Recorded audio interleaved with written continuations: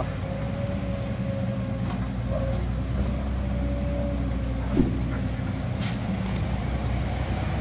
lần mà bà bà đang muối êm rồi.